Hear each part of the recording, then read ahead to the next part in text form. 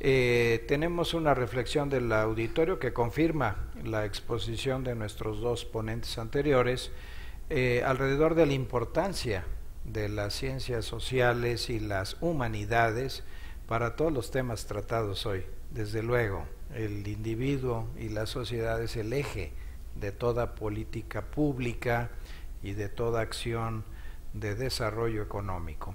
Así que compartimos el enfoque y, qué bueno que tenemos esta perspectiva incluyente de todas las áreas de conocimiento.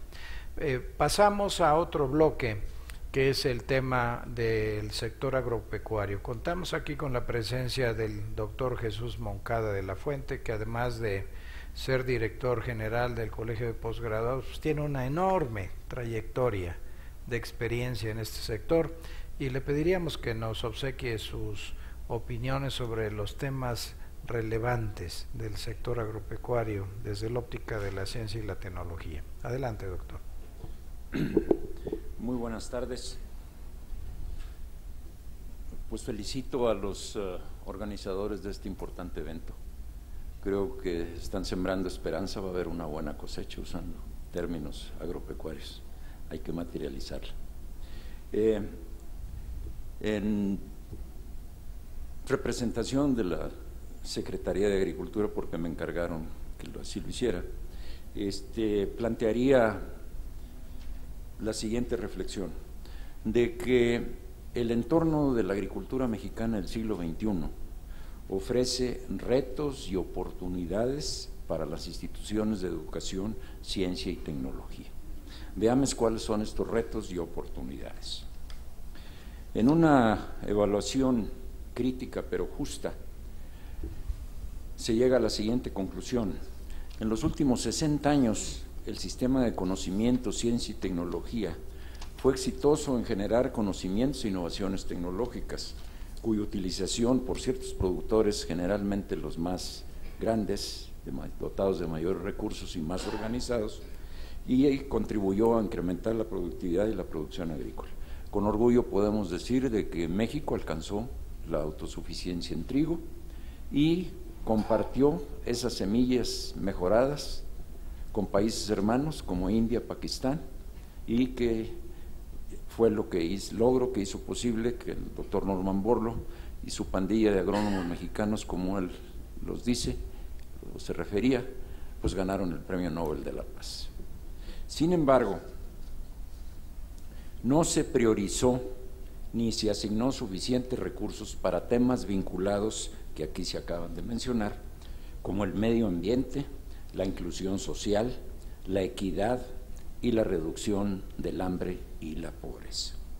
Por lo tanto, es necesario reflexionar sobre estos temas estratégicos y hacer algo al respecto. Y con este foro creo que es el inicio. ¿Cuáles son las realidades? En nuestro mundo interconectado a nivel global tenemos crisis alimentaria, financiera, energética y ecológica agravada por la realidad del cambio climático. En nuestro México, crisis asociada con pobreza, con desempleo e inseguridad. Tenemos un reducido crecimiento de la economía, tenemos inseguridad alimentaria, hay necesidad de crecer, de crear empleo y de dar oportunidades a los jóvenes el campo mexicano necesita cambiar porque tiene la obligación de contribuir. Las premisas que se manejan es de que el desarrollo del campo mexicano es clave para un México próspero, como aquí se mencionó, incluyente y hoy en día en paz. La experiencia demuestra que el fomento de actividades productivas es la estrategia adecuada para crecer, para crear empleo, para reducir la pobreza, la inseguridad alimentaria y las consecuencias.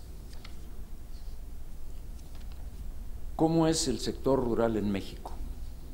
Polarizado, tenemos dos contrastes, lo podemos visualizar en una pirámide. En la parte superior de la pirámide están los más, que son productores altamente competitivos que pueden hacer presencia a nivel internacional y en la base de la pirámide están los productores más numerosos, ¿verdad?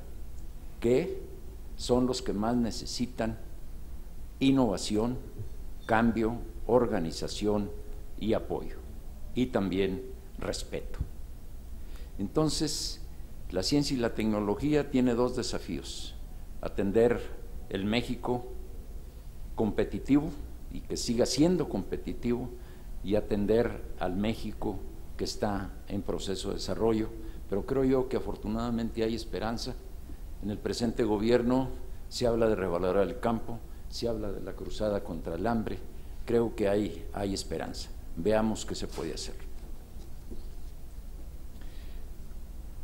Podemos decir en síntesis que el desafío mayor que tenemos en México es contestar la pregunta, ¿qué hacer para crecer?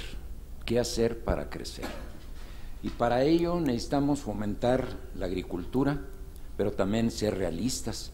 No todo México puede ser agrícola. Y necesitamos en el campo también fomentar la industria y los servicios en el medio rural. Esto, estos desafíos, conllevan, como ya dije, retos y oportunidades para las instituciones de educación, ciencia y tecnología. Pero para esto necesitamos una visión ampliada del sector, entender que el campo no es solo maíz, que el campo no es solo maíz. Con esto no quiere decir que discuidemos al maíz, al contrario, necesitamos apoyar su producción, su productividad y darle valor agregado para que quienes, los mexicanos y mexicanas que se dedican a esta actividad, reciban más por su esfuerzo y por los riesgos que corren. Pero necesitamos fomentar y diversificar la agricultura, dada su importancia como actividad económica generadora de alimentos, de nutracéticos, de materias primas, de madera, de celulosa, de biocombustibles, de fuentes alternas de energía que necesitamos, así como también de productos no tradicionales.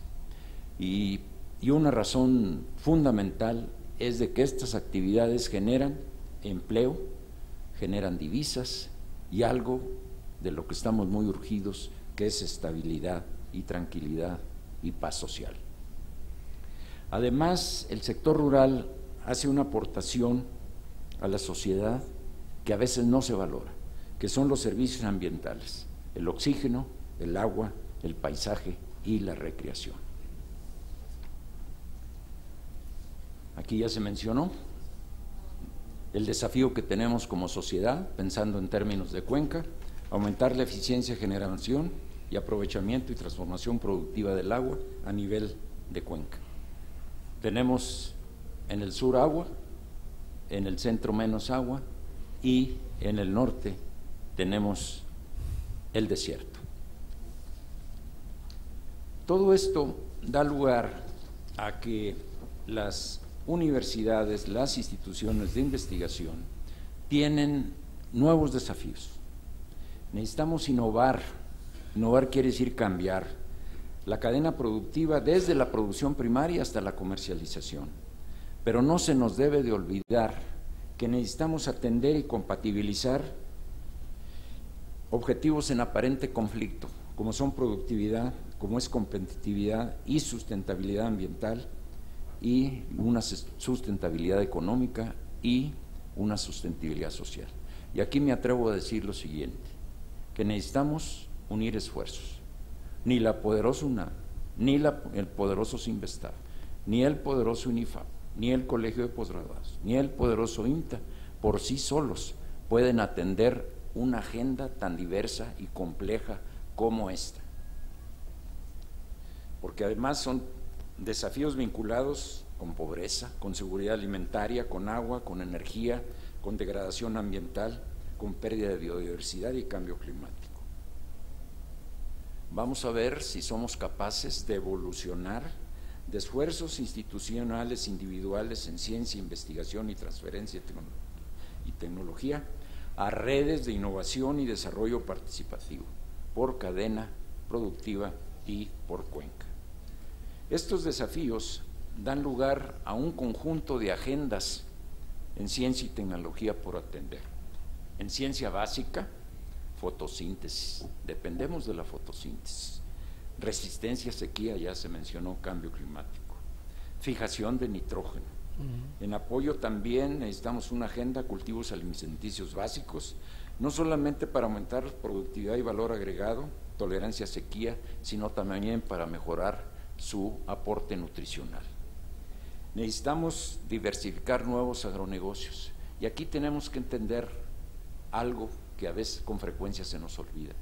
México es un mosaico de condiciones agroecológicas. Tenemos un trópico húmedo, un trópico seco, tenemos un altiplano templado y frío y zonas áridas y semiáridas con y sin riego. Necesitamos aprovechar nuestro trópico. Son condiciones que no tienen nuestros vecinos y no los tienen en Europa. Eso nos puede dar nosotros nuestra ventaja comparativa y nuestra ventaja comparativa. Luego tenemos como 180 especies no tradicionales que se pueden producir en México. Necesitamos investigar para qué pudieran servir. Eso es muy importante. Luego tenemos el desafío de reducir importaciones, fomentar exportaciones, lo que ya mencioné, fuentes alternas de energía y biocombustibles y por supuesto no olvidarnos de optimizar la agenda de servicios ambientales. Y por último, plantearía algo que va a sonar demagógico. Necesitamos una agenda de ciencia y tecnología con y a favor de los pobres. Me gustaría mucho que reflexionáramos sobre este tema y que fuese incorporado a la agenda futura. Una agenda de ciencia y tecnología con y a favor de los pobres. Muchas gracias. Excelente reflexión de, de nuestro querido amigo el doctor Jesús Moncada de la Fuente y muy completa aportación. Eh, quisiera yo dar lectura a algunas eh, reflexiones también del auditorio. Eh, es un tema que ciertamente genera mucha opinión y les voy a dar lectura a ellas. nos mencionan la necesidad de usar a la ciencia, tecnología e innovación para transformar el sector agropecuario, que ha sido mencionado. ¿Cómo tenemos un sector agropecuario más productivo y de mayor valor agregado? Esos son los dos grandes retos fundamentales y pues ahí tenemos un ejército de mentes brillantes en México que puede ayudar a esta tarea. Eh, la segunda, la necesidad de transferir las tecnologías y conocimientos de las instituciones de educación superior y centros públicos de investigación a los productores. Esa es una gran hazaña de vinculación que la señala una de nuestras gentes del auditorio. Eh, otra se refiere a construir una agenda estratégica para el campo y proyectos de gran visión como los que acaba aquí de mencionar don Jesús, ciertamente aprovechando las ventajas competitivas que tiene México de su gran diversidad eh, climática, territorial y de biodiversidad.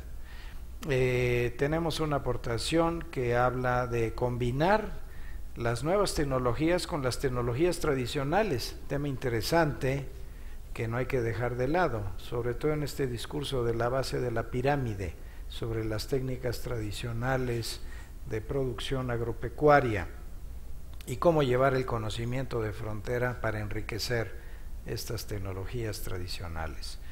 Eh, otra aportación se refiere a un cambio que concilie tecnologías tradicionales e innovación, nuevamente referida por otra persona del auditorio, y cómo explotar mejor nuestros recursos. Estas son las reflexiones también de la gente que nos, que nos sigue a través de la web. Eh, y, pues bueno, si no hubiera alguna reflexión de parte de ustedes sobre este tema, pasaríamos al último bloque eh, para darle fiel cumplimiento al tiempo valioso de ustedes y a la agenda, y que tiene que ver con qué pasa con la industria, qué pasa con el sector privado organizado, alrededor de estos problemas de interés público y cómo podemos organizar estos consorcios, estas redes de colaboración, estas alianzas público-privadas para esta eh, compleja trama que se ha mencionado el día de hoy de la pobreza, el desarrollo social, la sociedad del conocimiento, la informática, el agua, la salud, en fin, toda esta gran cantidad de temas. Aquí nos acompaña precisamente para esta reflexión eh, nuestro buen amigo el maestro José Antonio Lascano Ponce, que además de ser director de Comimsa, un centro de investigación del sistema CONACIT, pues es el representante eh, como vicepresidente nacional de Innovación y Desarrollo Tecnológico de Canacintra. Así que le agradeceríamos su reflexión aquí al maestro José Antonio Lascano. Gracias. Muchísimas gracias, doctor Parada, eh, y también agradecemos mucho la invitación a este interesante foro. La verdad es que participar al final, después de haber oído las excelentes intervenciones de cada uno de ustedes, pues da pie a la mejor y espero no hacer mucho ruido eh, dentro de este proceso, como lo decía la doctora Dutrenit, de eh, ver la oferta y la demanda entre la academia y el sector público, pues de repente meter un sesgo diferente que es el sector privado, que es la industria, y dentro de la cual todos y cada uno de los temas que se han mencionado hoy aquí, desde la salud, las telecomunicaciones, eh, el agua, el campo, el agro, las actividades sociales, tienen un peso fundamental dentro de lo que nosotros consideramos un mercado de innovación. Y como se decía aquí, cuando hablamos de un mercado, pues lógicamente tenemos dos grandes actores, la oferta y la demanda. Y para nosotros la oferta es todo aquello que se acaba de hablar hoy y que la tienen los centros públicos de investigación, las instituciones de educación superior, pero que necesitan transferir este conocimiento para verdaderamente generar riqueza en beneficio de toda la sociedad y crear empleos dignos que abatan la pobreza, que es el sector empresarial y con el cual no debemos tener ningún miedo de compartir temas tan importantes como son la ciencia, la tecnología y la innovación. Y en ese sentido me voy a permitir tocar algunos puntos esenciales. Vi dentro de la información del foro una frase que me gustaría leer eh, directamente, que dice, eh, entre todos los puntos que el foro ha tratado en sus eh, diferentes iniciativas de discusión, hay uno que dice, la necesidad de delinear una figura profesional encargada de la transferencia y gestión del conocimiento. A pesar de 12 años consagrados al desarrollo tecnológico y la innovación, queda claro que el gran pendiente sigue siendo la transferencia del conocimiento. Vale la pena recapitular porque es así. Entonces, estas no son palabras personales ni del sector, es lo que los investigadores, los expertos han determinado al hacer un análisis general de la situación actual del país. Retomando un poquito lo que comentaba el ingeniero Reynoso en el sentido de lo importante que es para el país la inversión de la iniciativa privada en ciencia, tecnología e innovación. No pensemos que los empresarios mexicanos están esperando hoy con la mano al frente que el gobierno ofrezca recursos en ciencia, tecnología e innovación para salir adelante. Yo les quiero comentar que de acuerdo a datos proporcionados por el CONACIT, se tiene un estimado en gasto en investigación y desarrollo experimental, el GIDE, que es el indicador que tanto la UNESCO como la OCDE menciona como el más eh, eh, importante para determinar el crecimiento económico de un país y que indica que no debe ser en países desarrollados por abajo del 1%, que aquí se comentaba, bueno, pues estos datos del CONACYT indican que en el 2013 se tendrá eh, un eh, gasto en investigación y desarrollo experimental de 80.812 millones de pesos, del cual el 44% sería GIDE privado y el 56% GIDE público. Este monto sería del punto 47 del PIB, que dado el presupuesto actual subiría un poquito al punto 40 que tuvimos el año pasado. Para lograr concluir el presente sexenio, de acuerdo a la importancia del discurso y que aquí se ha mencionado mucho de nuestro presidente, el licenciado Enrique Peña Nieto, de llegar al 2018 con el 1% del PIB, tendríamos que aumentar el GIDE, el gasto en investigación, en, eh, investigación desarrollo eh, experimental, más de 2.5 veces del 2013 al 2018 para llegar a la meta del 1%. Esto sería al final un gasto de 208.651 millones de pesos, de los cuales 90.905 millones serían de gasto privado y el resto, 117.746, de gasto público.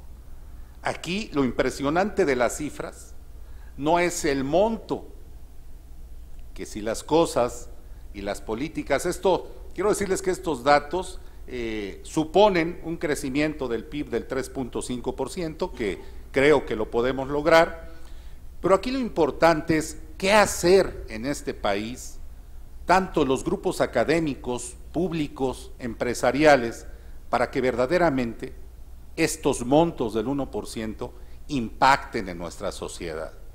Porque si seguimos yéndonos a lo que hemos hecho y tenemos como experiencias eh, no muy gratas, pues los resultados pueden no ser los más impactantes. Ahora, como se mencionaba. ¿Y cuáles son las expectativas del sector privado? ¿Qué queremos? La verdad, nosotros queremos participar. Queremos que en estos foros no solo discutan los académicos y, y el sector público. Al final de cuentas, quienes vamos a vender y comercializar en un mercado global todas estas tecnologías son las empresas. Entonces permitan que las empresas opinen cuáles son las necesidades, no solo de las grandes, como decía el doctor Moncada, en México, de las miles de empresas que existen en el país, el 90% son micros y pequeñas, ¿verdad?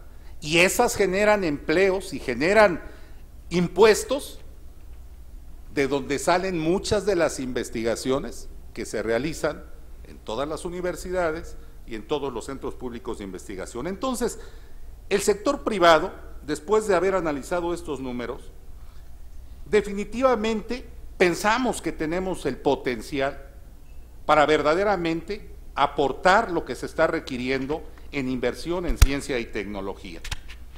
Para esto necesitamos algunas consideraciones claras.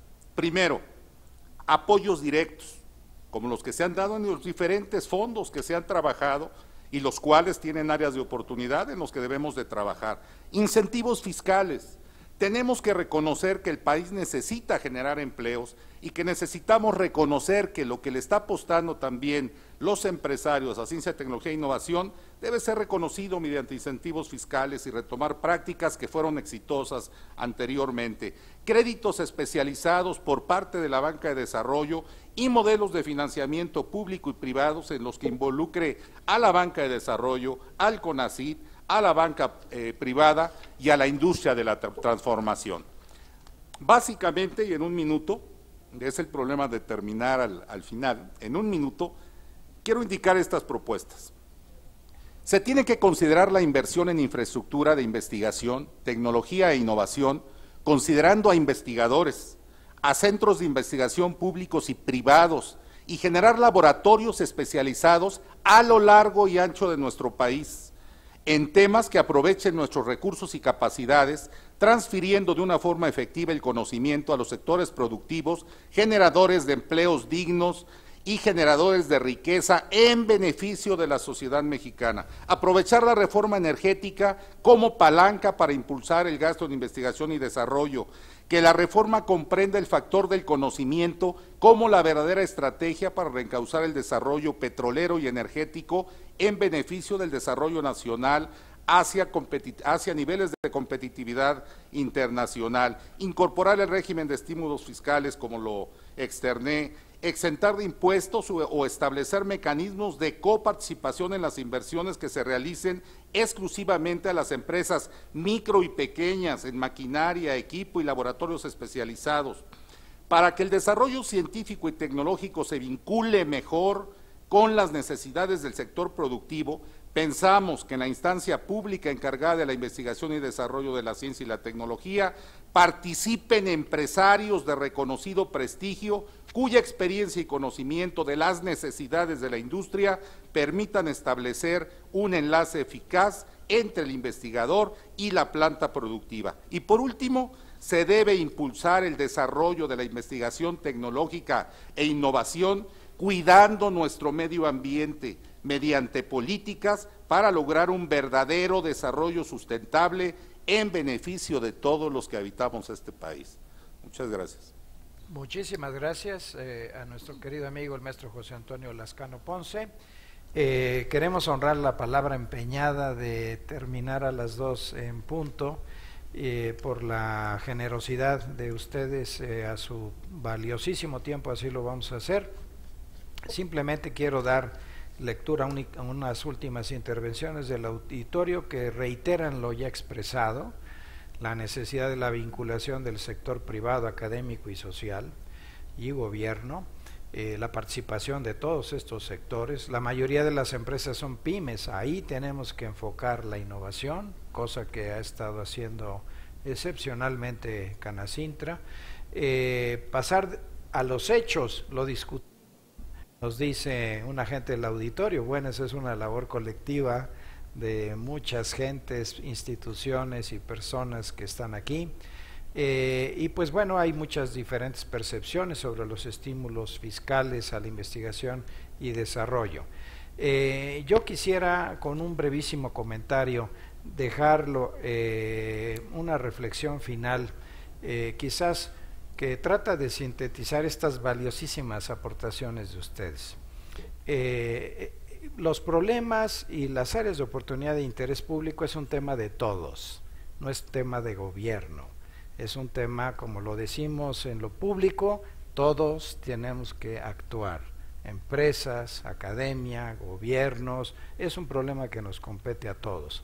Esa es una reflexión eh, final. La otra, contra lo que pensamos que es un proceso secuencial, invertir en investigación básica, luego aplicada, luego el desarrollo tecnológico, luego, la innovación y llega la prosperidad, yo creo que tenemos que cambiar ese modelo que no funciona.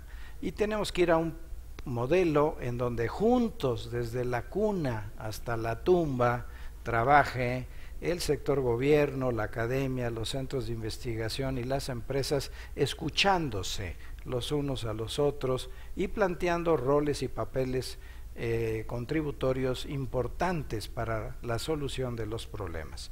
Eh, creo yo que hay signos alentadores eh, en esta administración pública, nos felicitamos por ello y pues bueno, el foro científico tecnológico en su papel que le mandata la ley eh, y que quiero felicitar a la doctora Gabriela Dutrenic por eso, que abra los espacios al diálogo, a la conversación, a los actores de estos importantes sectores gubernamental, académico y privado.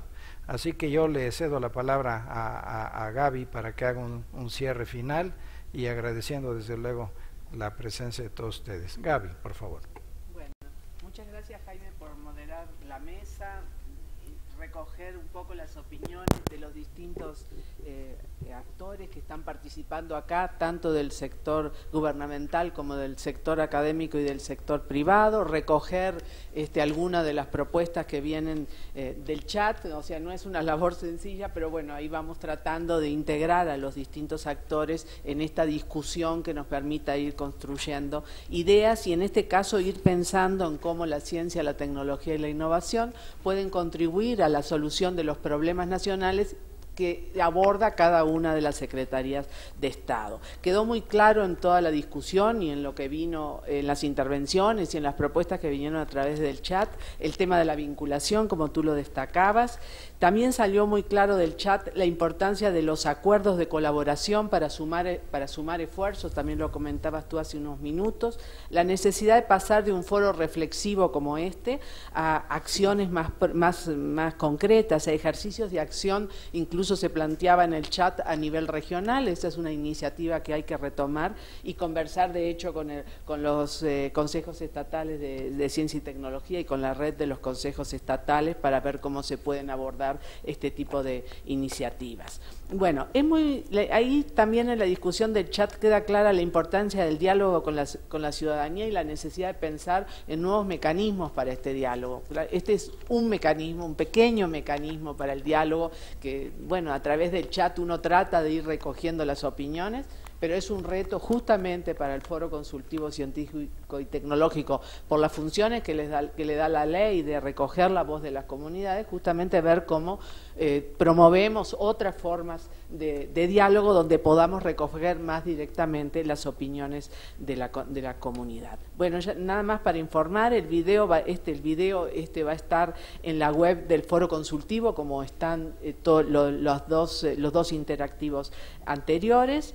Eh, en el chat participaron, hubo 105 que se inscribieron, más 205 personas que estuvieron siguiendo la transmisión eh, en, la transmisión del video, más otro tanto que después tenemos la información a través de, del, del IP.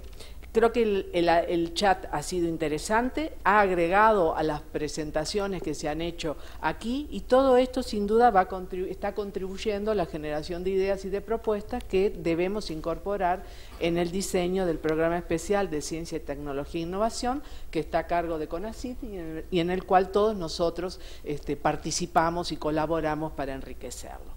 Bueno, y con esto entonces cerramos este, este sesión de interactivo. Y yo felicito a Gabriela y a todo su equipo porque lo hicieron muy bien. bien.